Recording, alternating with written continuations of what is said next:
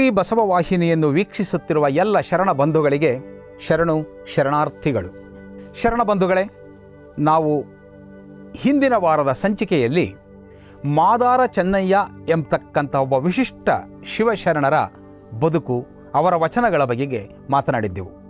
ಇವತ್ತು ಮಾದಾರ ಚೆನ್ನಯ್ಯನವರ ಸಮಕಾಲೀನರೇ ಆಗಿದ್ದಿರಬಹುದಾದ ಕ್ರಿಸ್ತಶಕ ಹನ್ನೆರಡನೆಯ ಶತಮಾನದಲ್ಲಿ ಪ್ರಸಿದ್ಧರಾದ ಬಸವಣ್ಣ, ಅಲ್ಲಮಪ್ರಭು, ಚನ್ನಬಸವಣ್ಣ ಇವರೆಲ್ಲರಿಗಿಂತ ಸ್ವಲ್ಪ ಹಿರಿಯರಾಗಿದ್ದಂತಹ ಮತ್ತೊಬ್ಬ ಮಹತ್ವದ ಶಿವಶರಣರನ್ನು ಕುರಿತು ಈ ದಿನ ಮಾತನಾಡೋಣ. ಹನ್ನೆರಡನೆಯ ಶತಮಾನದ ಬಸವಾದಿ ಪ್ರಮತರಲ್ಲಿ ಹಿರಿಯರು ಮಾದಾರ ಚೆನ್ನಯ್ಯ, ಕೆಂಬಾಬಿ ಭೋಗಯ್ಯ, ಡೋಹರ ಕಕ್ಕಯ್ಯ ಮೊದಲಾದವರು. ಡೋಹರ ಕಕ್ಕಯ್ಯನವರನ್ನು ಕುರಿತು ನಾನು ಈ ದಿನ ಮಾತನಾಡಲಿಕ್ಕೆ ಇಚ್ಛಿಸುತ್ತೇನೆ. ಶರಣ ಬಂಧುಗಳೇ ನಮ್ಮ ಅನೇಕ ಕಾವ್ಯಗಳಲ್ಲಿ ಮತ್ತು ಇತ್ತೀಚಿನ ನಮ್ಮ ಕೆಲವು ಸಂಶೋಧಕರ ಲೇಖನಗಳಲ್ಲಿ ಡೋಹರ ಕಕ್ಕಯ್ಯನವರು ಬಸವಣ್ಣನವರಿಗಿಂತ ಪೂರ್ವದವರೆಂದು, ಅಂದರೆ ಬಸವ ಪೂರ್ವ ಯುಗದ ಶರಣರು ಎಂಬುದಾಗಿ ಹೇಳಲಾಗಿದೆ. ಆದರೆ ಬಸವಣ್ಣನವರ ವಚನಗಳಲ್ಲಿ ಮತ್ತು ಬಸವಣ್ಣನವರ ಸಮಕಾಲೀನರಾಗಿದ್ದ ನಮ್ಮ ಪ್ರಭುದೇವರು ನಾಗಮ್ಮ, ಮುಕ್ತಾಯಕ್ಕ ಮೊದಲಾದವರ ವಚನಗಳಲ್ಲಿ ಈ ಚೆನ್ನಯ್ಯ ಮತ್ತು ಕಕ್ಕಯ್ಯ ಇವರ ಹೆಸರುಗಳು ಉಲ್ಲೇಖ ಆಗೋದರಿಂದ ಅವರಿಗಿಂತ ಪೂರ್ವಜರು ಎಂಬುದು ನಿಜ ಅಥವಾ ಅವರ ಸಮಕಾಲೀನರಾಗಿದ್ದಿರಬಹುದು. ಆದರೆ ಡೋಹರ ಕಕ್ಕಯ್ಯನವರ ವಚನಗಳಲ್ಲಿ ಬಸವಣ್ಣನವರ, ಪ್ರಭುದೇವರ, ಚೆನ್ನಬಸವಣ್ಣ, ಬಿಬ್ಬಿ ಬಾಚಯ್ಯ ಈ ಶರಣರ ಹೆಸರುಗಳೂ ಬರುವುದರಿಂದ ಡೋಹರ ಕಕ್ಕಯ್ಯನವರು ಬಸವಾದಿ ಪ್ರಮತರು ಏನಿದ್ದರೂ ಕ್ರಿಸ್ತಶಕ ಸಾವಿರದ ನೂರ ಅರವತ್ತರ ಸುಮಾರಿನಲ್ಲಿ ಅವರಿಗಿಂತ ತುಂಬ ಹಿಂದಿನವರಂತೂ ಆಗಿರಲಾರರು. ಬಸವಣ್ಣನವರಿಗಿಂತ ಸ್ವಲ್ಪ ಹಿರಿಯರಿರಬಹುದು. ಅಂದರೆ ಬಸವಣ್ಣನವರ ಹಿರಿಯ ಸಮಕಾಲೀನರಾಗಿದ್ದಿರಬಹುದು.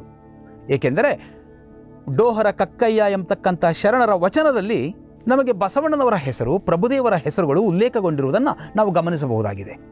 ಹಾಗಿರುವುದರಿಂದ ಬಸವಣ್ಣನವರ ಹಿರಿಯ ಸಮಕಾಲೀನರು ಎಂಬುದೇ ಇಲ್ಲಿ ಒಪ್ಪಬಹುದಾದ ವಿಷಯ ಎನಿಸುತ್ತದೆ. ಶರಣ ಬಂಧುಗಳೇ, ಡೋಹರ ಕಕ್ಕಯ್ಯನವರ ಆರು ವಚನಗಳು ಇವತ್ತು ನಮಗೆ ದೊರೆತಿವೆ.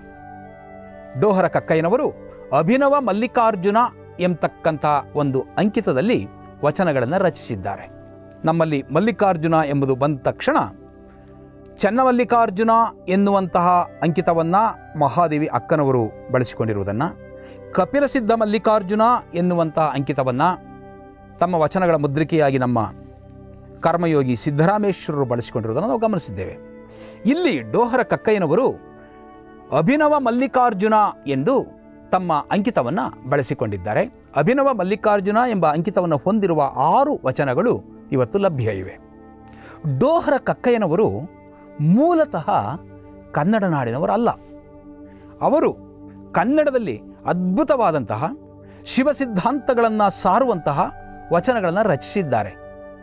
ದೊರೆತಿರುವ ವಚನಗಳು ಆರು ವಚನಗಳೇ ಆಗಿದ್ದರೂ ಕೂಡ ನಿಜವಾದ ವ್ಯಕ್ತಿತ್ವ ಯಾವುದು, ಮನುಷ್ಯ ಹೇಗಿರಬೇಕು ಎಂಬುದನ್ನು ಕುರಿತು ನೀತಿಯನ್ನು ಹೇಳ್ತಕ್ಕಂತಹ, ಶೈವ ಸಿದ್ಧಾಂತಗಳನ್ನು ಸಾರ್ತಕ್ಕಂತಹ ವಚನಗಳು ಆ ಆರು ವಚನಗಳು ಆಗಿವೆ. ಇವರು ಮೂಲತಃ ಮಾಳವ ದೇಶದವರು. ನಾವು ಪ್ರಾಚೀನ ರಾಜ್ಯಗಳನ್ನು ಹೇಳುವಾಗ ಐವತ್ತಾರು ರಾಜ್ಯಗಳನ್ನು ಹೇಳುತ್ತೇವಲ್ಲ? ಅಂಗ, ವಂಗ, ಕಳಿಂಗ ಕಾಂಬೋಜ ಕಾಶ್ಮೀರ ಹೀಗೆ ಹೇಳುವಾಗ ಮಾಳವ ಎಂಬ ಒಂದು ರಾಜ್ಯದ ಹೆಸರನ್ನು ಹೇಳುತ್ತೇವೆ. ಆ ಐವತ್ತಾರು ಅಥವಾ ಚಪ್ಪನ್ನ ಅಂತ ಏನು ಕರೀತೇವೆ? ಆ ಐವತ್ತಾರು ದೇಶಗಳಲ್ಲಿ ಮಾಳವ ಎಂಬುದು ಒಂದು. ಇವತ್ತಿನ ಮಧ್ಯಪ್ರದೇಶ ಅಂತ ಏನು ಒಂದು ರಾಜ್ಯವಿದೆ ಆ ಮಧ್ಯಪ್ರದೇಶದ ಪಶ್ಚಿಮ ಮತ್ತು ವಾಯುವ್ಯ ಭಾಗದಲ್ಲಿ ಬರ್ತಕ್ಕಂತಹ ಒಂದು ರಾಜ್ಯವಾಗಿತ್ತು. ಅಲ್ಲಿ ಹುಟ್ಟಿ ಬೆಳೆದಂತಹ ಒಬ್ಬ ಶಿವಾರಾಧಕ, ಅಂತ್ಯಜರು ಅಂತ ಏನು ಗುರುತಿಸ್ತಾ ಇದ್ದರು ಅಂತಹ ಒಂದು ಕುಲದಲ್ಲಿ ಹುಟ್ಟಿದವರು ಕಕ್ಕಯ್ಯನವರು. ಡೋಹರ ಕಕ್ಕಯ್ಯನವರು, ಡೋಹರ ಎಂಬುದು ಅವರ ಕುಲವನ್ನು ಸೂಚಿಸ್ತಾ ಇತ್ತು. ಡೋಹರ ಎಂದರೆ ನಮ್ಮ ನಿಘಂಟುಗಳಲ್ಲಿ ಹೊಲೆಯ, ಅಂತ್ಯಜ, ಮ್ಲೇಚ್ಛ, ಚಾಂಡಾಲ ಎಂಬ ಅರ್ಥಗಳನ್ನು ಕೊಡಲಾಗಿದೆ. ಅಂದರೆ ಆವತ್ತಿನ ಸಂದರ್ಭದಲ್ಲಿ ಯಾರನ್ನ ಮೇಲು ಕೀಳು ಎಂಬಂತಹ ಸ್ತರಗಳಲ್ಲಿಟ್ಟು ನೋಡ್ತಾ ಕೆಳ ಸ್ತರದವರು ಅಂತ ಗುರುತಿಸ್ತಾ ಇದ್ದರೋ ಅಂತಹ ಒಂದು ಕುಲ ಎಂದು ಗುರುತಿಸಲಾಗಿತ್ತೋ ಆ ಒಂದು ಅಂತ್ಯಜರ ಕುಲದಲ್ಲಿ ಹುಟ್ಟಿದ್ದವರು ಡೋಹರ ಕಕ್ಕಯ್ಯನವರು. ಡೋಹರ ಕಕ್ಕಯ್ಯನವರು ಮಾಳವ ದೇಶದಲ್ಲಿಯೇ ಹುಟ್ಟಿ ಬೆಳೆಯುತ್ತಾ ಕಲ್ಯಾಣದಲ್ಲಿ ನಡೀತಾ ಇದ್ದಂಥ ಬಸವಾದಿ ಪ್ರಮತರ ಕೈಂಕರ್ಯಗಳನ್ನು ಸಮಾಜದಲ್ಲಿರತಕ್ಕಂಥ ಎಲ್ಲ ವ್ಯಕ್ತಿಗಳು ಸಮಾನರು. ಇಲ್ಲಿ ತಮ್ಮ ಕಾಯಕಕ್ಕೆ ಪ್ರಾಧಾನ್ಯತೆ ಕೊಡಬೇಕು. ನುಡಿ, ನಡೆ, ಶುದ್ಧವಾಗಿರಬೇಕು. ಇದು ನಮ್ಮ ವ್ಯಕ್ತಿತ್ವವನ್ನು ಬಿಂಬಿಸುತ್ತದೆ. ಅವರು ಸತ್ಕುಲ ಸಂಜಾತರು ಅಂತ ಏನು ಹೇಳ್ತಾ ಇದ್ರು ಇಲ್ಲಿ ಶರಣರು? ಇಂಥ ಶರಣರು ಮಾಡ್ತಾ ಇದ್ದಂಥ ಕಲ್ಯಾಣದ ಕಾರ್ಯಗಳನ್ನು ಸುದ್ದಿಯಲ್ಲಿ ಕೇಳಿಸಿಕೊಂಡು ಅದನ್ನು ಆ ಸುದ್ದಿಯನ್ನು ಕೇಳಿಸಿ, ನಾನೂ ಇದನ್ನು ನಾನು ಕಣ್ಣಾರೆ ನೋಡಬೇಕು ಎಂದು ಅವರು ಈ ನಾಡಿನತ್ತ ಮಾಳವ ದೇಶದಿಂದ ಬಂದಂತಹ ಮಹಾನ್ ಶರಣರು. ಕಕ್ಕಯ್ಯನವರು ಬಸವಾದಿ ಪ್ರಮತರ ಕೈಂಕರ್ಯಗಳನ್ನು ಮೆಚ್ಚಿ ಆ ಸುದ್ದಿಯನ್ನು ಕೇಳಿ, ನಾನೂ ಇದನ್ನು ಕಣ್ಣಾರೆ ನೋಡಬೇಕು ಎಂಬಂತಹ ಒಂದು ಆಕಾಂಕ್ಷೆಯಿಂದ ಕಲ್ಯಾಣಕ್ಕೆ ಬರುತ್ತಾರೆ. ಕಲ್ಯಾಣಕ್ಕೆ ಬಂದು ಬಸವಾದಿ ಪ್ರಮತರ ಆತ್ಮೀಯತೆಯನ್ನು ಗಳಿಸಿಕೊಂಡು ಬಸವಾದಿ ಶರಣರ ಜೊತೆಯಲ್ಲಿ ಒಡನಾಡುತ್ತಾ ವಚನಗಳನ್ನು ರಚಿಸಿದ್ದಾರೆ. ಮಹಾಮನೆಯಲ್ಲಿ ಬಸವಾದಿ ಪ್ರಮತರ ಜೊತೆಯಲ್ಲಿ ಅವರು ಚರ್ಚಿಸಿರುವ ಸಾಧ್ಯತೆಗಳೂ ಇವೆ. ಏಕೆಂದರೆ ಅವರು ಪ್ರಭುದೇವರ ಹೆಸರನ್ನು, ಬಿಬ್ಬಿ ಬಾಚಯ್ಯನವರ ಹೆಸರನ್ನು, ನಮ್ಮ ಚನ್ನಬಸವಣ್ಣನವರ ಹೆಸರನ್ನು ಅವರು ತಮ್ಮ ವಚನಗಳಲ್ಲಿ ಉಲ್ಲೇಖಿಸಿದ್ದಾರೆ. ಶರಣ ಬಂಧುಗಳೇ, ಡೋಹರ ಕಕ್ಕಯ್ಯ ಕಕ್ಕ ಎನ್ನುವ ಪದ ಚಿಕ್ಕಪ್ಪ ಎನ್ನುವ ಅರ್ಥವನ್ನು ಕೊಡುತ್ತದೆ. ಬಸವಾದಿ ಶರಣರಲ್ಲಿ ಬಸವಣ್ಣನವರೇ ಸುಮಾರು ಹತ್ತಕ್ಕೂ ಹೆಚ್ಚು ವಚನಗಳಲ್ಲಿ ಕಕ್ಕಯ್ಯನವರ ಹೆಸರನ್ನು ಪ್ರಸ್ತಾಪಿಸಿದ್ದಾರೆ. ನಮಗೆಲ್ಲ ಗೊತ್ತಿರುವಂತೆ ಬಸವಣ್ಣನವರು ಹುಟ್ಟಿದ್ದು ಬಸವನ ಬಾಗೇವಾಡಿಯಲ್ಲಿ ಮಾದರಸ ಮಾದಲಾಂಬಿಕೆ ಎಂಬಂತಹ ವಿಪ್ರ ಕುಲದ ಒಂದು ಕುಟುಂಬದಲ್ಲಿ, ಬ್ರಾಹ್ಮಣ ಕುಲದಲ್ಲಿ ಹುಟ್ಟಿದಂಥವರು. ಆದರೆ ಬಸವಣ್ಣನವರು ತಮ್ಮನ್ನು ಬ್ರಾಹ್ಮಣರು ಶ್ರೇಷ್ಠರು ಶ್ರೇಷ್ಠರು ಎಂದು ಸಮಾಜ ಹೇಳುತ್ತಾ ನನ್ನನ್ನು ಹೊಗಳಿ ಹೊಗಳಿ ಮೇಲಕ್ಕೇರಿಸುತ್ತಾ, ನನ್ನ ಜೊತೆಯಲ್ಲಿರ್ತಕ್ಕಂಥ ಕೆಲವರನ್ನ, ಕೆಳಸ್ತರದವರನ್ನ ಗುರುತಿಸಿ ಗುರುತಿಸಿ ಅವರನ್ನು ಅಂತ್ಯಜರು ಅಂತ ಕರೆದು ಬಿಟ್ಟರೆ ಎಲ್ಲಿ ಅವರು ನನ್ನಿಂದ ದೂರವಾಗಿ ಬಿಡುತ್ತಾರೋ ಎನ್ನುವ ಅಳುಕಿನಲ್ಲಿ, ಇಲ್ಲ ಇಲ್ಲ, ನಾನು ಶ್ರೇಷ್ಠ ಕುಲದಲ್ಲಿ ಹುಟ್ಟಿದವನು ಎಂದು ಯಾರು ದಯವಿಟ್ಟು ಗುರುತಿಸಬೇಡಿ. ನನ್ನ ಒಡನಾಡಿಗಳಾಗಿರ್ತಕ್ಕಂಥವರಿದ್ದಾರಲ್ಲ, ಅವರನ್ನು ಯಾರೂ ಕೂಡ ನೀವು ಕೆಳಸ್ತರದವರು ಎಂದು ಅವರನ್ನೂ ಕರೆಯಬೇಡಿ ಎನ್ನುವ ಆ ಒಂದು ಧೋರಣೆಯನ್ನು ಹೊಂದಿದ್ದ ಬಸವಣ್ಣನವರು ಎಂಥ ಅಪೂರ್ವವಾದ ಎಂತಹ ಅತ್ಯಂತ ವಿಶಾಲ ಮನಸ್ಸಿನ ವಚನಗಳನ್ನು ರಚಿಸಿದ್ದಾರೆ ಎಂಬುದು ನಿಮಗೆ ಗೊತ್ತಿದೆ. ಉತ್ತಮ ಕುಲದಲ್ಲಿ ಹುಟ್ಟಿದೆನು ಎಂಬ ಕಷ್ಟತನದ ಹೊರೆಯ ಹೊರಿಸದಿರಯ್ಯ. ಹೇಳ್ತಾರೆ ಅವರು ಸಮಾಜಕ್ಕೆ, ನಾನು ಉತ್ತಮ ಕುಲದಲ್ಲಿ ಹುಟ್ಟಿದೆನು ಅಂತ ಹೇಳಬೇಡಿ. ಅದು ನನಗೆ ಕಷ್ಟತನದ ಜವಾಬ್ದಾರಿ, ಹೊರೆಯಾಗಿ ಬಿಡುತ್ತದೆ ನನಗೆ. ನೀವೇನಾದರೂ ನನ್ನನ್ನು ಬ್ರಾಹ್ಮಣ ಕುಲದಲ್ಲಿ ಹುಟ್ಟಿದವನು ಹುಟ್ಟಿದವನು ಅಂತ ಅಟ್ಟಕ್ಕೇರಿಸಿ ಮಾತನಾಡಿಬಿಟ್ರೆ, ಉತ್ತಮ ಕುಲದಲ್ಲಿ ಅಂದರೆ ಉತ್ತ ಒಳ್ಳೆಯ ಕುಲದಲ್ಲಿ ಹುಟ್ಟಿದವನು ಹುಟ್ಟಿದವನು ಅಂತ ಕರೆದ್ರೆ ಅದು ಅವರಿಗೆ ದೊಡ್ಡ ದೊಡ್ಡಸ್ತಿಕೆಯ ವಿಚಾರವಲ್ಲ. ಅವರಿಗೆ ಅದು ಹೊಂದಿನ ಶೂಲವೇ. ಹೊಗಳಬೇಡಿ ದಯವಿಟ್ಟು. ಏನಾಗುತ್ತದೆ? ಹಾಗಾದರೆ ನನ್ನಿಂದ ಇವರಲ್ಲಿ ದೂರವಾಗಿ ಬಿಡುತ್ತಾರೋ ಶರಣರು? ಅವ್ರು ಹೇಳ್ತಾರೆ, ಬಸವಣ್ಣನವರು, ಇದೇ ಕಕ್ಕಯ್ಯನವರ ಬಗ್ಗೆ ಪ್ರಸ್ತಾಪ ಮಾಡ್ತಾರೆ. ಸಾಕಷ್ಟು ವಚನಗಳಲ್ಲಿ, ಇವರ ವಚನಗಳಲ್ಲಿ ಪ್ರಸ್ತಾಪ ಬರ್ತದೆ ಬಸವಣ್ಣನವರಲ್ಲಿ. ಉತ್ತಮ ಕುಲದಲ್ಲಿ ಹುಟ್ಟಿದನೆಂಬ ಕಷ್ಟತನದ ಹೊರೆಯ ಹೊರಿಸದಿರಯ್ಯ? ಏಕೆಂದರೆ, ಅವ್ರು ಹೇಳ್ತಾರೆ, ಮುಂದಕ್ಕೆ ಹೇಳ್ತಾರೆ ಕಕ್ಕಯ್ಯನು ಒಕ್ಕುದನಿಕ್ಕ ಒಕ್ಕುದ ಅಂದರೆ ಪ್ರಸಾದ. ಕಕ್ಕಯ್ಯನು ಒಕ್ಕುದನು ಇಕ್ಕ? ನೀವೇನಾದರೂ ನನ್ನನ್ನು ಶ್ರೇಷ್ಠ ಕುಲದವನು ಅಂತ ಕರೆದು ಬಿಟ್ಟರೆ ನಮ್ಮ ಡೋಹರ ಕಕ್ಕಯ್ಯ ನನ್ನ ಒಡನಾಡಿ ಆಗಿರತಕ್ಕಂಥವನು ಆ ಪ್ರಸಾದವನ್ನು ನನಗೆ ಕೊಡುವುದಿಲ್ಲ. ದಾಸಯ್ಯ ಶಿವದಾನವನು ಎರೆಯ. ಶಿವದಾನ ಅಂದರೆ ಮಜ್ಜಿಗೆ. ಆ ದಾಸಿಮಯ್ಯ ಅಥವಾ ದಾಸಯ್ಯ ಅಂತ ಏನಿದ್ರು ಅವನು ನನಗೆ ಮಜ್ಜಿಗೆ ಕೊಡುವುದನ್ನು ನಿಲ್ಲಿಸಿ ಬಿಡುತ್ತಾನೆ ಕಕ್ಕಯ್ಯ ಒಕ್ಕುದನು ಇಕ್ಕ, ದಾಸಯ್ಯ ಶಿವದಾನವನು ಎರೆಯ, ಮನ್ನಣೆಯ ಚೆನ್ನಯ್ಯ ಮನ್ನಣೆಯ ಚೆನ್ನಯ್ಯ ಎನ್ನುವ ಮನ್ನಿಸ. ಎಲ್ಲರಿಂದಲೂ ಮನ್ನಣೆಗೆ ಪಾತ್ರರಾಗಿರ್ತಕ್ಕಂಥ ಮಾದಾರ ಚೆನ್ನಯ್ಯ ಇದರಲ್ಲ, ಅವರು ನನ್ನನ್ನು ಮನ್ನಿಸುವುದಿಲ್ಲ. ನೀವು ಯಾರನ್ನು ಇವತ್ತು ಡೋಹರ, ಮಾದರ ಅಥವಾ ಮಡಿವಾಳ ಅಂತ ಕರಿತಾ ಇದ್ದೀರೋ, ಅಂಥವರನ್ನೇನಾದರೂ ಹಾಗೆ ಅವರ ಜಾತಿಗಳ ಹೆಸರಿನಲ್ಲಿ ಗುರುತಿಸಿ, ನನ್ನನ್ನು ಉತ್ತಮ ಕುಲದವನಂತೂ ನೀವು ಕರೆದು ಬಿಟ್ಟರೆ ಅವರು ನನ್ನಿಂದ ದೂರವಾಗಿ ಬಿಡುತ್ತಾರೆ. ಹಾಗಾಗಬಾರದು. ಹಾಗಾಗಬಾರದು. ಕಕ್ಕಯ್ಯ ನನಗೆ ಪ್ರಸಾದವನ್ನು ಕೊಡುವುದಿಲ್ಲ. ದಾಸಿಮಯ್ಯ ನನಗೆ ನನ್ನ ಮಜ್ಜಿಗೆಯನ್ನೂ ಕೊಡುವುದಿಲ್ಲ. ಹೇಳ್ತಾರೆ, ಉನ್ನತ ಮಹಿಮನಾಗಿರ್ತಕ್ಕಂತಹ ಕೂಡಲ ಸಂಗಮದೇವ, ನೀನು ರಕ್ಷಿಸು. ಶಿವಧೋ ಶಿವಧೋ ಎಂದು ಮೊರೆ ಇಡುತ್ತಾರೆ ಯಾರು ಮಹಿಮಾನ್ವಿತನಾಗಿರುವ ಮಾದರ ಚೆನ್ನಯ್ಯ ಇದ್ದಾರೋ, ಅವರೂ ನನ್ನನ್ನು ದೂರ ಮಾಡಿಬಿಡುತ್ತಾರೆ. ಅವರಿಂದ ದೂರವಾಗುವುದಕ್ಕೆ ನನ್ನಿಂದ ಇಷ್ಟ ಇಲ್ಲ. ಅವರೆಲ್ಲರ ಒಡನಾಡಿ ಆಗಿರಬೇಕು ನಾನು ಎಂದು ಹೇಳಿಕೊಳ್ತಕ್ಕಂಥ ಬಸವಣ್ಣನವರು ಡೋಹರ ಕಕ್ಕಯ್ಯನವರನ್ನು ಕುರಿತು ಬಹಳ ಅದ್ಭುತವಾದ ಮಾತುಗಳು, ಬಹಳ ಪ್ರೀತಿಯ ಮಾತುಗಳನ್ನು ಆಡುತ್ತಾರೆ. ತಮಗೆಲ್ಲ ಗೊತ್ತಿರುವಂಥದ್ದು, ಹಿರಿಯ ಅಯ್ಯ ಶ್ವಪಚಯ್ಯ, ಕಿರಿಯ ಅಯ್ಯ ಡೋಹರ ಕಕ್ಕಯ್ಯ, ಬಸವಣ್ಣನವರ ವಚನ. ಹಿರಿಯ ಅಯ್ಯ ಶ್ವಪಚಯ್ಯ, ಕಿರಿಯ ಅಯ್ಯ ಡೋಹರ ಕಕ್ಕಯ್ಯ. ಈ ಅಯ್ಯಗಳ ಅಯ್ಯನು ನಮ್ಮ ಮಾದಾರ ಚೆನ್ನಯ್ಯ ಕೂಡಲ ಸಂಗಮದೇವ ನಿಮ್ಮ ಶರಣರು ಸಲಹುವರಾಗಿ ನನ್ನನ್ನು ಸಲಹುತಕ್ಕಂಥವರೇ ಇವರು. ನಾನು ಇವತ್ತು ಉತ್ತಮ ಕುಲದವನು ಉತ್ತಮ ಕುಲದವನು ಅಂತ ನೀವು ನನ್ನನ್ನು ಹೇಳಬೇಡಿ. ನಿಜವಾಗಿಯೂ ಕೂಡ ಇವರೆಲ್ಲರೂ ಕೂಡ ಉತ್ತಮ ಕುಲದವರೇ. ಅವರೆಲ್ಲರ ಒಡನಾಡಿಯಾಗಿರ್ತಕ್ಕಂಥವರು ನಾನು ಅಂತ ಹೇಳಿಕೊಳ್ಳುವಾಗ ಬಸವಣ್ಣನವರು ಅತ್ಯಂತ ವಿಶಾಲ ಮನಸ್ಸಿನ ಭಾವನೆಯಿಂದ ತಮ್ಮ ವಚನವನ್ನು ರಚಿಸುತ್ತಾರೆ. ಅವರು ಉತ್ತಮ ಕುಲದಲ್ಲಿ ಹುಟ್ಟಿದೆ ಅಂತ ಹೇಳ್ತಕ್ಕಂಥ ಜನಗಳಿಗೆ ಒಂದು ಪಾಠವೇನೋ ಎಂಬಂತೆ ಹೇಳುತ್ತಾರೆ ತುಂಬ ಜಗತ್ಪ್ರಸಿದ್ಧವಾಗಿರತಕ್ಕಂತಹ ವಚನ ಇದು. ಮಾದರ ಚೆನ್ನಯ್ಯನ ಮನೆಯ ದಾಸನ ಮಗನು. ಚೆನ್ನಯ್ಯನ ಮನೆಯ ದಾಸನ ಮಗನು ದೋಹರ ಕಕ್ಕಯ್ಯನ ಮನೆಯ ದಾಸಿಯ ಮಗಳು. ಇವರಿಬ್ಬರೂ ಕೂಡ ಯಾರು? ಕಕ್ಕಯ್ಯನ ಮನೆಯ ದಾಸನ ಮಗನು, ಚೆನ್ನಯ್ಯನ ಮನೆಯ ದಾಸಿಯ ಮಗಳು. ಇವರಿಬ್ಬರೂ ಹೊಲದೊಳು ಬೆರಣಿಯ ಆಯಲು ಹೋಗಿ ಸಂಗವ ಮಾಡಿದರು. ಚೆನ್ನಯ್ಯನ ಮನೆಯ ದಾಸನ ಮಗ, ಕಕ್ಕಯ್ಯನ ಮನೆಯ ದಾಸಿಯ ಮಗಳು, ದಾಸನ ಮಗ, ದಾಸಿಯ ಮಗಳು. ಇವರು ಹೊಲದೊಳು ಬೆರಣಿಯ ಆಯಲು ಹೋಗಿ ಸಂಗವ ಮಾಡಿದರು. ಅವರಿಬ್ಬರ ಸಂಘದಿಂದ ಹುಟ್ಟಿದೆನು ನಾನು. ಕೂಡಲ ಸಂಗಮದೇವ, ನಿಮ್ಮ ಆಣೆಯಾಗಿ ಅಂತ ಹೇಳ್ತಾರೆ. ಅಂದರೆ, ನಾನು ವಿಪ್ರಕುಲದಲ್ಲಿ ಹುಟ್ಟಿದವನು ಶ್ರೇಷ್ಠ ಕುಲ ಸಂಜಾತ ಅಂತ ಬಸವಣ್ಣನವರು ಹೇಳ್ಕೊಳ್ಳೋದಿಲ್ಲ. ಡೋಹರ ಕಕ್ಕಯ್ಯನವರನ್ನು ಕುರಿತು ಈ ತಮ್ಮ ಕೆಲವು ಇಂತಹ ಒಂದು ಹತ್ತಾರು ವಚನಗಳಲ್ಲಿ ಕಕ್ಕಯ್ಯನವರನ್ನು ನಮ್ಮ ಬಸವಣ್ಣನವರು ಸ್ಮರಿಸಿಕೊಳ್ತಾರೆ.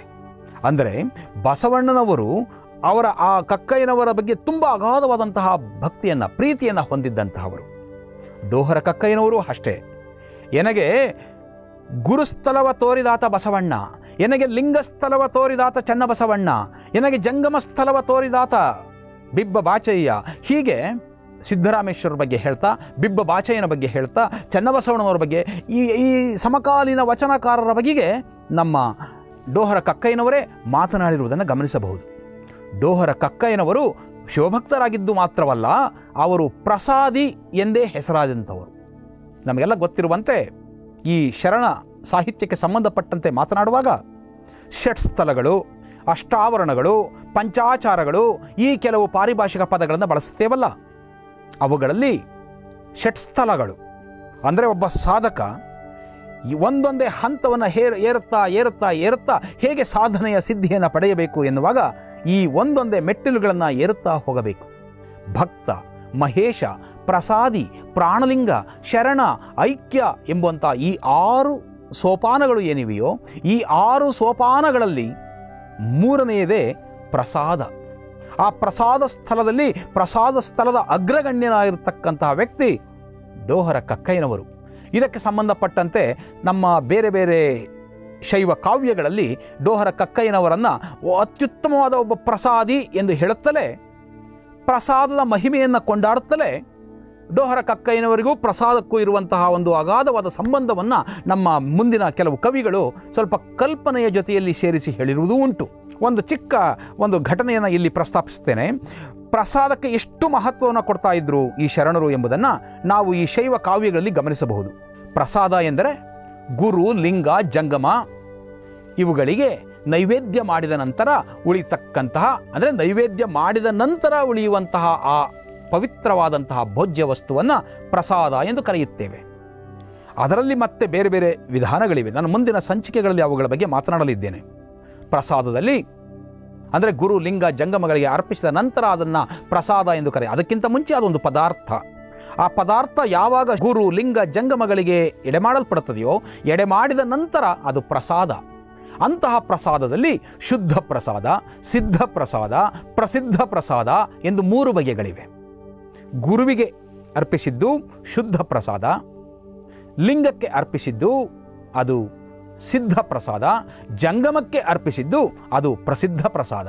ಇಂತಹ ಪ್ರಸಾದದ ಮಹತ್ವವನ್ನು ಶರಣರು ಅರ್ಥ ಮಾಡಿಕೊಂಡಿದ್ದರು. ಇವತ್ತು ಸಮಕಾಲೀನ ಸಂದರ್ಭದಲ್ಲಿ ವಚನ ಸಾಹಿತ್ಯವನ್ನು ಕುರಿತು ಮಾತನಾಡುವ ನಾವು ಪ್ರಸಾದ ಅಂದರೆ ಆ ಭೋಜ್ಯ ವಸ್ತುವನ್ನು ಯಾವತ್ತೂ ಅದರ ಮಹತ್ವವನ್ನು ತಿಳಿದುಕೊಳ್ಳಬೇಕು. ವಚನ ಸಾಹಿತ್ಯವನ್ನು ಕೇವಲ ಅಧ್ಯಯನ ಮಾಡಿ, ಅಧ್ಯಾಪನ ಮಾಡಿ, ಬೇರೆ ಅಭ್ಯಾಸ ಮಾಡಿದರೆ ಸಾಕಾಗೋದಿಲ್ಲ. ಅದರ ಪ್ರಸ್ತುತತೆ ಏನು ಎನ್ನುವುದನ್ನು ಕುರಿತು ಆಲೋಚನೆ ಮಾಡುವ ಸಂದರ್ಭದಲ್ಲಿ ಪ್ರಸಾದ, ಇವತ್ತಿನ ನಾವು ಏನು ಭೋಜ್ಯ ವಸ್ತು ಅಂತ ಕರಿತಾ ಇದ್ದೀವಿ ಆಹಾರ. ಅದನ್ನು ಪ್ರಸಾದ ಎನ್ನುವುದಾದರೆ ಪ್ರಸಾದಕ್ಕೆ ಎಲ್ಲಿಲ್ಲದ ಮಹತ್ವವನ್ನು ನಾವು ಕೊಡಬೇಕು. ನಾನು ಹಿಂದಿನ ಸಂಚಿಕೆಯಲ್ಲಿ ಹೇಳಿದ್ದೆ, ಅನ್ನ ಯಜ್ಞ ಮಾಡಬೇಕು ಎಂಬತಕ್ಕಂಥ ನಮ್ಮ ಕವಿ, ವರಕವಿ ಮಾತನ್ನು ನಾನು ನೆನಪಿಸ್ಕೊಂಡಿದ್ದೆ ಬೇಂದ್ರೆಯವರನ್ನು. ಬಂಧುಗಳೇ, ಕೆಲವು ಹೋಟೆಲ್ಗಳಲ್ಲಿ ಕೆಲವು ಔತಣ ಕೂಟಗಳಲ್ಲಿ ಪ್ರತಿಷ್ಠೆ ಎಂಬಂತೆ ಕೆಲವು ತಟ್ಟೆಯಲ್ಲಿ ಅಥವಾ ಎಲೆಗಳಲ್ಲಿ ಬಡಿಸಿಕೊಂಡು ಆಹಾರವನ್ನು, ಅನ್ನವನ್ನು ವ್ಯರ್ಥ ಮಾಡುವುದಕ್ಕಂತ ನಾವು ನೋಡ್ತಾ ಇದ್ದೇವೆ. ಕೆಲವಂತೂ ದೊಡ್ಡ ದೊಡ್ಡ ಮದುವೆ ಮುಂಜಿ, ಮುಂದೊಂದು ಸಂದರ್ಭಗಳಲ್ಲಿ ತಿನ್ನುವುದು ಕಡಿಮೆ ಅಂತ ಗೊತ್ತಿದ್ದರೂ ಕೂಡ ಬೇರೆ ಬೇರೆ ಬೇರೆ ಬೇರೆ ಬೇರೆ ಬೇರೆ ಅಂತಹ ಆ ತಿನಿಸುಗಳನ್ನು ಮಾಡಿ ಬಡಿಸ್ತಾರಲ್ಲ, ಅದೊಂದು ಪ್ರತಿಷ್ಠೆಯ ವಿಚಾರ ಆಗಿಬಿಟ್ಟಿದೆ. ಅದರಲ್ಲಿ ಅರ್ಧಕ್ಕರ್ಧ ವ್ಯರ್ಥವಾಗಿಯೇ ಹೋಗಿರ್ತದೆ. ಹಸಿವು ಎಂಥದ್ದು ಅಂತ ನಮಗೆ ಗೊತ್ತಿದೆ. ಹಸಿವಿಗೆ ಅನ್ನವನಿಕ್ಕಿ ಆ ವಿಷವನ್ನು ಇಳುಹಬಲ್ಲಡೆ ಆತನೇ ಗಾರುಡಿಗ ಅಂತ ಹೇಳಿದ ದಾಸಿಮಯ್ಯನ ವಚನವನ್ನು ಕಳೆದ ಸಂಚಿಕೆಗಳಲ್ಲಿ ಪ್ರಸ್ತಾಪಿಸಿದ್ದೆ. ಬಂಧುಗಳೇ, ಪ್ರಸಾದವನ್ನು ಯಾವತ್ತೂ ವ್ಯರ್ಥ ಮಾಡಬಾರದು. ಪ್ರಸಾದಕ್ಕೆ ಅದರದೇ ಆದಂತಹ ಒಂದು ಮಹತ್ವವಿದೆ. ದಯವಿಟ್ಟು ನಾವೆಲ್ಲರೂ ಕೂಡ ಆಧುನಿಕ ಸಂದರ್ಭದಲ್ಲಿ ಇದನ್ನು ಅರ್ಥ ಮಾಡಿಕೊಳ್ಳಬೇಕು. ಏ ಏನಾಗ್ತದೆ ಬಿಡಿ ಅಂತ ಅಂದ್ಬಿಟ್ಟು ನಾಲ್ಕು ಅಗಳು ಅನ್ನ ಅಂತ ವ್ಯರ್ಥ ಮಾಡಿದರೆ ಆ ನಾಲ್ಕುಗಳು ಅನ್ನ ಆಗಬೇಕಾದ್ರೆ ನಾಲ್ಕು ಅಕ್ಕಿಯ ಕಾಳನ್ನು ಬೆಳೀಲಿಕ್ಕೆ ಅನ್ನದಾತ ಎಷ್ಟು ಪ್ರಯತ್ನ ಅದೇನು ಇರುಳಳಿದು ಬೆಳಗಾಗುವುದರೊಳಗೆ ಅದನ್ನು ನಾವು ಬೆಳೀಲಿಕ್ಕೆ ಸಾಧ್ಯನೇ ಅಕ್ಕಿಯನ್ನು? ಆ ಭತ್ತವನ್ನು? ಅದಕ್ಕೆಷ್ಟು ಶ್ರಮ ಪಟ್ಟಿರ್ತಾನೆ ಆ ಅನ್ನದಾತ? ಅದನ್ನು ಅರ್ಥ ಮಾಡ್ಕೋಬೇಕು. ರಾಗಿ, ಜೋಳ, ಭತ್ತ ಇವುಗಳನ್ನು ಬೆಳೆಯುವಾಗ ಎಷ್ಟು ನಮ್ಮ ರೈತ ಕಷ್ಟಪಡ್ತಾನೆ?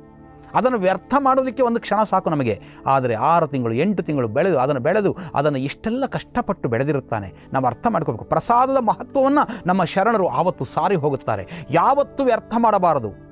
ಇದಕ್ಕೆ ನಾನು ಒಂದು ಕಥೆಯನ್ನು ನೆನಪಿಸಿಕೊಂಡೆ. ಇಲ್ಲಿ ಪ್ರಸ್ತಾಪ ಮಾಡ್ತೇನೆ ಒಂದು ಕ್ಷಣಾರ್ಧದಲ್ಲಿ. ಅದೇನೆಂದರೆ, ನಮ್ಮ ಡೋಹರ ಕಕ್ಕಯ್ಯನವರು ಒಂದು ತಮ್ಮ ಮನೆಯ ಮುಂದೆ, ನಾವು ಅವ್ರ ತಮ್ಮ, ನಮ್ಮ ಕಲ್ಯಾಣದಲ್ಲಿರುವಾಗ ಒಮ್ಮೆ ಅವರ ಮನೆಯ ಮುಂದೆ ಆ ಕಕ್ಕಯ್ಯನವರ ಪುಣ್ಯ ಸ್ತ್ರೀ ಅಂದರೆ ಅವರ ಮಡದಿ ನಿಂತಿರುತ್ತಾರೆ. ಆ ಬಿಜ್ಜಳನ ಆಸ್ಥಾನಕ್ಕೆ ಹೋಗುತ್ತಿರುವ ಸಂದರ್ಭದಲ್ಲಿ ಬಸವಣ್ಣನವರು ಕುದುರೆ ಏರಿ ಹೋಗುತ್ತಿರುವಾಗ ಅವರನ್ನು ಕಂಡಂತಹ ನಮ್ಮ ಡೋಹರ ಕಕ್ಕಯ್ಯನವರ ಪುಣ್ಯಾಂಗನೆ ಅವರನ್ನು ಪ್ರಸಾದಕ್ಕಾಗಿ ಕರೆಯುತ್ತಾರೆ. ಆಗ ದಾಸಿಮಯ್ಯನವರು ಕುದುರೆ ಏರಿ ಬಿಜ್ಜಳನ ಓಲಗಕ್ಕೆ ಹೋಗುತ್ತಿದ್ದಂತಹ ಬಸವಣ್ಣನವರನ್ನು ನಮ್ಮ ಡೋಹರ ಕಕ್ಕಯ್ಯನವರ ಪುಣ್ಯಾಂಗನೆ ಅವರನ್ನು ಪ್ರಸಾದವನ್ನು ಸೇವಿಸಿ ಹೋಗಿ ಬನ್ನಿ ಅಂತ ಬಸವಣ್ಣನವರನ್ನು ಕರೆಯುತ್ತಾರೆ. ಆದರೆ ಬಸವಣ್ಣನವರು ಅವಸರ ಅವಸರ ಅವಸರಾಗಿ ಇಲ್ಲ, ಈಗ ಬರೋದಕ್ಕೆ ಸಮಯ ಇಲ್ಲ ಎನ್ನುವ ರೀತಿಯಲ್ಲಿ ಹೊರಟು ಹೋಗುತ್ತಾರೆ. ಇದು ಅಲ್ಲಿಯೇ ಪಕ್ಕದಲ್ಲಿ ನಿಂತಿದ್ದಂತಹ ಕಕ್ಕಯ್ಯನವರ ಗಮನಕ್ಕೆ ಬರುತ್ತದೆಯಂತೆ.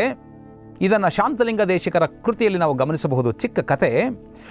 ಬಸವಣ್ಣನವರು ಪ್ರಸಾದಕ್ಕೆ ಕರೆದರೂ ಕೂಡ ಹೊರಟು ಹೋಗಿದ್ದು, ಪ್ರಸಾದಕ್ಕೆ ಮಾಡಿದ ಅವಮಾನ ಎಂದು ಭಾವಿಸಿದಂತಹ ಡೋಹರ ಕಕ್ಕಯ್ಯನವರು ತುಂಬ ವ್ಯಥಿತರಾಗುತ್ತಾರೆ. ತುಂಬ ವ್ಯಥೆ ಪಡುತ್ತಾರೆ.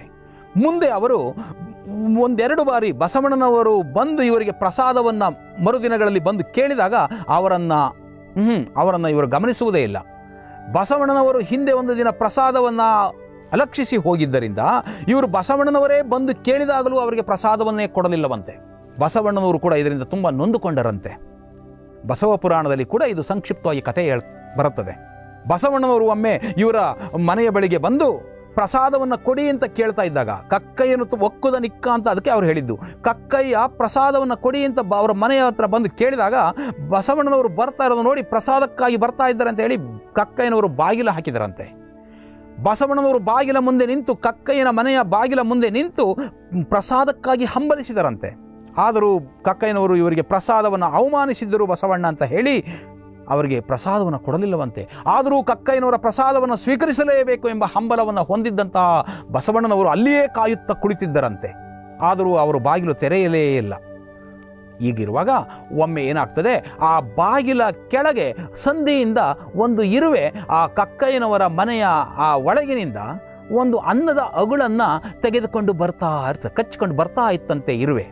ಅದು ಬರುತ್ತಿರುವುದನ್ನು ಕಂಡಂತಹ ಬಸವಣ್ಣನವರು, ಆಹಾ ಜನ್ಮ ಸಾರ್ಥಕ ಆಯಿತು ಕಕ್ಕಯ್ಯ ಕೊಡದಿದ್ದರೂ ಕೂಡ ಕಕ್ಕಯ್ಯನ ಮನೆಯ ಒಳಗೆ ಆ ತಯಾರಾದಂಥ ಪ್ರಸಾದವನ್ನು ಇರುವೆಯ ಮೂಲಕವಾಗಿ ನನಗೆ ಶಿವನೇ ತಂದು ಕೊಡುತ್ತಿದ್ದಾನೆ ಎಂದು ಭಾವಿಸಿದಂಥ ಬಸವಣ್ಣನವರು ಆ ಇರುವೆಯ ಬಾಯಲ್ಲಿದ್ದ ಅನ್ನದ ಅಗಳನ್ನು ಕಸಿದುಕೊಳ್ಳುವುದಕ್ಕೊಂದು ಉಪಾಯ ಮಾಡಿ, ಅಲ್ಲಿದ್ದಂಥ ಬೆಲ್ಲದ ಚೂರನ್ನು ಅದರ ಮುಂದೆ ಹಾಕಿ, ಅದು ಬೆಲ್ಲದ ಸಿಹಿಯೇ ಆ ಕಡೆ ಅನ್ನದ ಅಗಳನ್ನು ಬಿಟ್ಟು ಅದು ಇರುವೆ ಈ ಕಡೆ ಚಲಿಸಿದಾಗ ಬೆಲ್ಲದ ಚೂರಿನ ಕಡೆಗೆ ಚಲಿಸಿದಾಗ ಅನ್ನದ ಅವುಗಳನ್ನು ಪಡೆದುಕೊಂಡರಂತೆ, ಕಕ್ಕಯ್ಯನ ಪ್ರಸಾದ ಇದು ಅಂತ ಹೃದಯ ತುಂಬಿ ಅದನ್ನು ಮನೆಗೆ ತೆಗೆದುಕೊಂಡು ಬಂದರಂತೆ. ಸದ್ಯ ನನಗೆ ಕಕ್ಕಯ್ಯನ ಪ್ರಸಾದ ದೊರೆಯಿತು ದೊರೆಯಿತು ಅಂತ ಸಂತೋಷದಿಂದ, ಸಂಭ್ರಮದಿಂದ ಬಸವಣ್ಣನವರು ಮನೆಗೆ ತಂದು ಅದನ್ನು ಒಂದು ಪೀಠದ ಮೇಲೆ ಇರಿಸಿ ಸ್ನಾನ ಮಾಡಿ, ಲಿಂಗ ಪೂಜೆ ಮಾಡಿ ಈ ಪ್ರಸಾದವನ್ನು ಸ್ವೀಕರಿಸೋಣ ಅಂತ ಹೊರಟ್ರಂತೆ. ಅವರು ಸ್ನಾನ ಮಾಡಿ ಮಡಿಯಾಗಿ ಬರುವ ವೇಳೆಗೆ ಅದು ಗೊತ್ತಿಲ್ಲದೆ ಅಕ್ಕ ಬಸವಣ್ಣನವರ ಸಹೋದರಿ ನಾಗಮ್ಮ ಅದನ್ನು ಸೇವಿಸಿಬಿಟ್ಟಿದ್ದರೆಂದು, ಬಸವಣ್ಣ ಇದನ್ನು ಕಂಡು ಆಶ್ಚರ್ಯವೂ ಮತ್ತು ವ್ಯಥೆಯಿಂದ ಕೂಡಿದರೆಂದು. ಇದು ಒಂದು ಕಥೆ ಇದೆ. ಈ ಕತೆ ನಿಜವೋ ಸುಳ್ಳೋ ಅದು ನಮಗೆ ಬೇಕಾಗಿಲ್ಲ. ವಾಸ್ತವವಾಗಿ ಪ್ರಸಾದಕ್ಕೆ ಎಷ್ಟು ಮಹತ್ವ ಕೊಡುತ್ತಿದ್ದರು ಶರಣರು? ಯಾವತ್ತೂ ಪ್ರಸಾದವನ್ನು ವ್ಯರ್ಥ ಮಾಡಬಾರದು ಎಂಬುದನ್ನು ನಮಗೆ ಈ ಕಥೆಯ ಮೂಲಕ ನಾವು ತಿಳ್ಕೊಳ್ಳಲಿಕ್ಕೆ ಸಾಧ್ಯ ಇದೆ. ಶರಣ ಬಂಧುಗಳೇ, ಡೋಹರ ಕಕ್ಕಯ್ಯನವರು ಪ್ರಸಾದಿ ಸ್ಥಳದಲ್ಲಿ ಅಥವಾ ಪ್ರಸಾದ ಸ್ಥಳದಲ್ಲಿ ಅಗ್ರಗಣ್ಯರು ಎನಿಸಿರ್ತಕ್ಕಂತಹವರು. ಈಗಾಗಲೇ ನಾನು ಹೇಳಿದಂತೆ ಅವರ ಆರು ವಚನಗಳು ನಮಗೆ ಲಭ್ಯ ಇವೆ.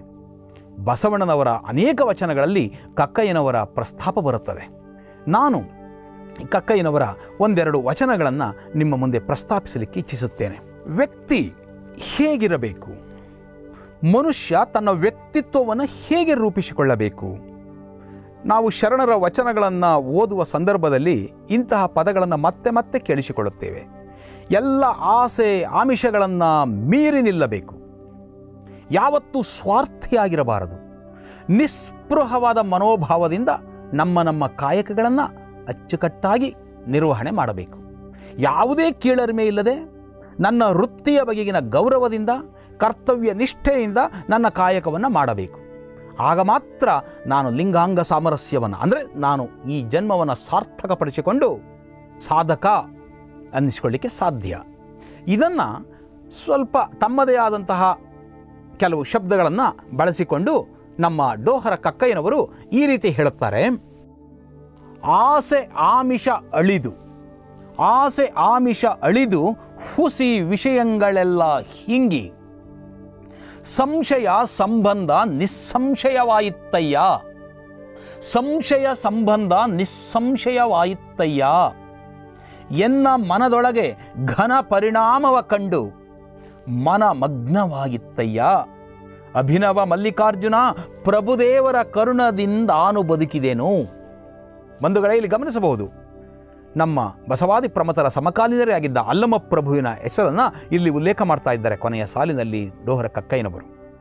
ಪ್ರಭುದೇವರ ಬಗೆಗೆ ಅಷ್ಟು ಅವರಿಗೆ ಭಕ್ತಿ, ಕೃತಜ್ಞತೆ. ಹೇಳ್ತಾರೆ, ಆಸೆ, ಆಮಿಷ ಅಳಿದು. ಇಂತಹ ವಿಷಯ ಈ ತನುವಿನೊಳಗೆ ತುಂಬಿರಬಾರದಲ್ಲವೇ? ತಮಗೆಲ್ಲ ಗೊತ್ತಿದೆ. ಈ ಮನದೊಳಗೆ, ಈ ತನುವಿನೊಳಗೆ ಹುಸಿ ವಿಷಯಗಳು ತುಂಬಿಕೊಂಡರೆ ಅಲ್ಲಿ ಮನೆಯೊಡೆಯನಿಲ್ಲ. ಅಲ್ಲಿ ಮನೆಯೊಡೆಯ ನಿಲ್ಲ ಹೌದು, ಅವನು ನಿಲ್ಲುವುದಿಲ್ಲ. ಅವು ಖಂಡಿತ ನಮ್ಮಲ್ಲಿ ಇರಕೂಡದು. ಬಸವಣ್ಣನವರು ಅದನ್ನೇ ತಾನೇ ಹೇಳಿದ್ದು? ಹೌದು, ಹುಸಿ, ವಿಷಯ, ಇವು ನಮ್ಮಿಂದ ದೂರವಾಗಿ ಬಿಡಬೇಕು. ಆಸೆ, ಆಮಿಷಗಳು ನಮ್ಮಿಂದ ದೂರವಾಗಿ ಬಿಡಬೇಕು. ಆಸೆ, ಆಮಿಷಗಳು ಅಳಿದು ಅಳಿದು, ದೂರವಾಗಿ, ನಾಶವಾಗಿ. ನಮ್ಮಲ್ಲಿರ್ತಕ್ಕಂಥ ಸುಳ್ಳು, ವಿಷಯ, ಅಂದರೆ ಈ ಮೋಹ, ಭ್ರಮೆಗೆ ಒಳಗು ಮಾಡ್ತಕ್ಕಂತಹ ಮಾಯಾಸಕ್ತಿ ಮಾಡುವಂತಹ, ಮಾಯೆಗೆ ಒಳಗು ಮಾಡತಕ್ಕಂತಹ ಆ ಭ್ರಮೆಯ ಸ್ವಭಾವ ಇದೆಯಲ್ಲ, ಅದು ನಮ್ಮಿಂದ ದೂರವಾಗಿ ಬಿಡಬೇಕು. ಅವು ಅಳಿದು ಸಂಶಯ ಸಂಬಂಧ ನಿಸ್ಸಂಬಂಧವಾಯಿತಯ್ಯ ಎಷ್ಟು ಚೆನ್ನಾಗಿ ಈ ವಚನದಲ್ಲಿ ಹೇಳ್ತಾ ಇದ್ದಾರೆ ಅಂದರೆ, ಅಂಗ ಮತ್ತು ಲಿಂಗ, ನಾನು ಮಾನವ, ಅವನು ಮಹಾದೇವ ಎನ್ನುವಂಥ ಈ ದ್ವಿರ್ಭಾವ ಇದೆಯಲ್ಲ, ಇದು ನಾನೇ ಬೇರೆ, ಅವನೇ ಬೇರೆ ಎನ್ನುವಂಥ ಭಾವ ಇದೆಯಲ್ಲ, ಇದು ಅಳಿದು ಬಿಡಬೇಕು. ಸಂಶಯ ಸಂಬಂಧ ಇದು ಇರಕೂಡದು. ಆ ಲಿಂಗಾಂಗ ಸಾಮ, ಅಂಗ ಮತ್ತು ಲಿಂಗ ಒಂದೇ ಎನ್ನುವ ಭಾವನೆ ನಮ್ಮಲ್ಲಿ ಬಂದುಬಿಡಬೇಕು. ಆ ಸಂಬಂಧ ಅದು ನಮ್ಮಲ್ಲಿ ಇಬ್ಬರು ಎಂಬತಕ್ಕಂಥ ದುರ್ಭಾವ ಅಳಿದು ಹೋಗಿಬಿಡಬೇಕು. ಆ ಸಂಶಯ ಸಂಬಂಧ ಅದು ಹೊರಟು ಹೋಗಿಬಿಡಬೇಕು. ಅದು ಹೊರಟು ಹೋದಾಗಲೇ ನಾವೇನಂತ ಕರಿತೇವೆ? ಅದನ್ನು ಲಿಂಗಾಂಗ ಸಾಮರಸ್ಯ, ಐಕ್ಯ ಅಂತ ಕರಿತೇವೆ. ಅಂತಹ ಲಿಂಗಾಂಗ ಸಾಮರಸ್ಯ ಹೊಂದುವ ಭಾವ ಯಾರಿಗೆ ಬರುತ್ತದೆ? ಆಸೆ ಆಮಿಷಗಳು ಅಳಿದು ಹೋಗಿರಬೇಕು, ಹುಸಿ, ವಿಷಯ ಇವು ನಮ್ಮಿಂದ ದೂರವಾಗಿ ಬಿಡಬೇಕು. ಅಂತಹ ಸಂದರ್ಭದಲ್ಲಿ ಮಾತ್ರ ಈ ಸಂಬಂಧದಲ್ಲಿ ನಾನೇ ಬೇರೆ, ಲಿಂಗವೇ ಬೇರೆ ಅಥವಾ ಶಿವನೇ ಬೇರೆ ಎನ್ನುವ ಈ ಭಾವ ಇದೆಯಲ್ಲ, ಅದು ಹೊರಟು ಹೋಗುತ್ತದೆ. ಅಂತಹ ನಿರ್ಭಾವ ಸ್ಥಿತಿಯನ್ನು ತಲುಪಬೇಕು. ಆಗ ನಮ್ಮ ಮನಸ್ಸಿನಲ್ಲಿ ಆಗುವಂತಹ ಆನಂದ ಇದೆಯಲ್ಲ? ಅದನ್ನೇ ಡೋಹರ ಕಕ್ಕಯ್ಯನವರು ಹೇಳ್ತಾರೆ, ಎನ್ನ ಮನದೊಳಗೆ ಘನ ಪರಿಣಾಮವ ಕಂಡು, ಪರಿಣಾಮವ. ನಾವಿವತ್ತು ಪರಿಣಾಮ ಎನ್ನುವುದನ್ನು ಬೇರೆ ಅರ್ಥದಲ್ಲಿ, ಪರಿಣಾಮ ಅಂದರೆ ಎಫೆಕ್ಟ್ ಅನ್ನೋ ಅರ್ಥದಲ್ಲಿ ಬಳಸಿದ್ರು ಕೂಡ ಇನ್ನೊಂದು ಅರ್ಥ, ಆನಂದ. ಚಿದಾನಂದ ಲಿಂಗ, ಅಂಗ, ಸಾಮರಸ್ಯ, ಭಾವ ನಮ್ಮಲ್ಲಿ ಬರುತ್ತದೆಯೋ ಅದು ಅಷ್ಟು ಸುಲಭಕ್ಕೆ ಬರುವುದಿಲ್ಲ. ನಮ್ಮಲ್ಲಿರ್ತಕ್ಕಂಥ ಎಲ್ಲ ಆ ಆಮಿಷಗಳನ್ನು ದೂರ ಮಾಡಿಕೊಂಡಾಗ, ಹುಸಿ ವಿಷಯಗಳನ್ನು ದೂರ ಮಾಡಿದಾಗ ನಮ್ಮಲ್ಲಿ ಆ ಸಾಧನೆಯ ಪಥದಲ್ಲಿ ಸಾಗಿದಾಗ ಬರ್ತಕ್ಕಂಥದ್ದು. ಅಂಥ ಲಿಂಗಾಂಗ ಸಾಮರಸ್ಯವನ್ನು ಸಾಧಿಸಿದ ಸಂದರ್ಭದಲ್ಲಿ ಮನಸ್ಸಿನಲ್ಲಿ ಮೂಡುವ ಭಾವ ಇದೆಯಲ್ಲ? ಆನಂದ ಸ್ಥಿತಿ ಇದೆಯಲ್ಲ? ಆ ಮನಸ್ಥಿತಿ ಅದನ್ನೇ ಚಿದಾನಂದ. ಅಂತಹ ಮನಸ್ಥಿತಿ ನನ್ನನ್ನು ಶ್ರೇಯಸ್ಕರ ವ್ಯಕ್ತಿಯನ್ನಾಗಿ ಮಾಡುತ್ತದೆ. ಅದು ನನಗೊಂದು ಶ್ರೇಯಸ್ಸನ್ನು ತರುತ್ತದೆ. ಅವ್ರು ಹೇಳ್ತಾರೆ, ಆಗ ಮನ ಮಗ್ನವಾಗಿತ್ತಯ್ಯ ಆ ಪರಿಣಾಮವ ಕಂಡು. ಲಿಂಗಾಂಗ ಸಾಮರಸ್ಯ ಸ್ಥಿತಿಯನ್ನು ಕಂಡು ನನ್ನ ಮನಸ್ಸು ಅದರಲ್ಲಿಯೇ ಲೀನವಾಯಿತು. ಮಗ್ನವಾಗಿ ಹೋಯಿತು. ಆ ಶಿವ ಸಂಬಂಧದಲ್ಲಿ ಅದು ಮಗ್ನವಾಯಿತು. ಅಭಿನವ ಮಲ್ಲಿಕಾರ್ಜುನ ಅಂತಹ ಸ್ಥಿತಿಯನ್ನು ತಲುಪುವುದಕ್ಕೆ, ಆ ಲಿಂಗಾಂಗ ಸಾಮರಸ್ಯ ಸ್ಥಿತಿಯನ್ನು, ಆ ಸಮರಸ ಭಾವವನ್ನು ನಾನು ಹೊಂದುವುದಕ್ಕೆ ಕಾರಣರಾದವರು ಪ್ರಭುದೇವರು. ಆ, ಅದನ್ನು ಹೇಳಿಕೊಳ್ತಾರೆ ಕಕ್ಕಯ್ಯನವರು, ನನ್ನ ಲಿಂಗಾಂಗ ಸಾಮರಸ್ಯ ಈ ಸ್ಥಿತಿಯನ್ನು ತಲುಪುವುದಕ್ಕೆ, ನನ್ನಲ್ಲಿರ್ತಕ್ಕಂಥ ಈ ಪರಿಣಾ, ಘನ ಪರಿಣಾಮವನ್ನು ಕಂಡು ನನ್ನ ಮನಸ್ಸು ಶಿವನಲ್ಲಿ ಮಗ್ನವಾಗುವುದಕ್ಕೆ ಕಾರಣರಾದವರು ಪ್ರಭುದೇವರು ಪ್ರಭುದೇವರೇ ನಿಮ್ಮ ಕರುಣದಿಂದ ನಾನು ಬದುಕಿದೇನು ಕಾಣ. ಅವ್ರು ಹೇಳ್ತಾರೆ "ಮ್, ಅಭಿನವ ಮಲ್ಲಿಕಾರ್ಜುನ ಅಂದರೆ ಶಿವನನ್ನು ಕುರಿತು ಹೇಳುತ್ತಲೇ ಶಿವನನ್ನೇ ಸಂಬೋಧಿಸಿ ಹೇಳುತ್ತಿರುವಂತೆ ಕಂಡುಬಂದರೂ ಕೂಡ ಅಲ್ಲಿ ಪ್ರಭುದೇವರಿಗೆ ತಮ್ಮ ಕೃತಜ್ಞತೆಯನ್ನು ಹೇಳುತ್ತಿರುವುದನ್ನು ನಾವು ಈ ವಚನದಲ್ಲಿ ಗಮನಿಸಬಹುದಾಗಿದೆ.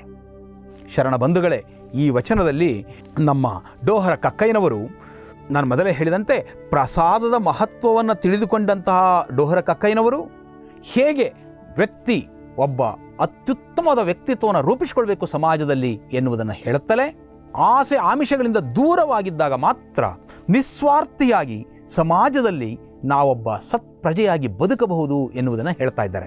ಡೋಹರ ಕಕ್ಕಯ್ಯನವರ ಉಳಿದ ವಚನಗಳ ಬಗೆಗೆ ಮುಂದಿನ ಸಂಚಿಕೆಗಳಲ್ಲಿ ನಾವು ಮಾತನಾಡೋಣ.